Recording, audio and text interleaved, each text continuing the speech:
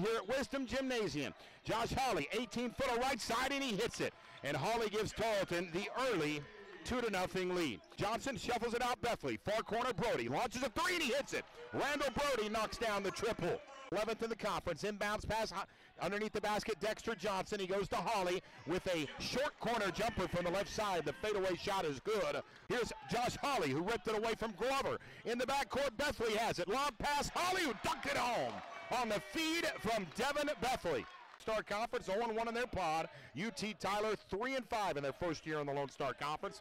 0-3 in conference play. Driving to the glass, Isaiah Range, and he lays it in from the left side.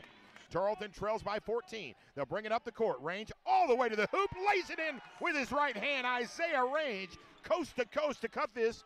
23 points. Eight on the shot clock to Hopkins, guarded by Mason. Hopkins drives it to the hoop and banks it in from the right side. The athletic true freshman Javante Hopkins. 24 on the shot clock. Quick catch and shoot. Isaiah Range nails a three pointer. They trail 54 to 39. Brody takes it to the hoop. Finger roll layup good for Randall Brody. It's a 13 point UT Tyler lead. Nobody puts Santa in the bargain bin. Nobody. The Ford F 150 has available best in class payload, and this sleigh is bringing the big man home.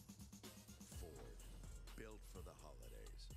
Now during the Built for the Holidays sales event, get 20% estimated savings on the 2019 F-150. Plus earn complimentary maintenance through Ford Pass Rewards. Only at your best in Texas Ford dealer.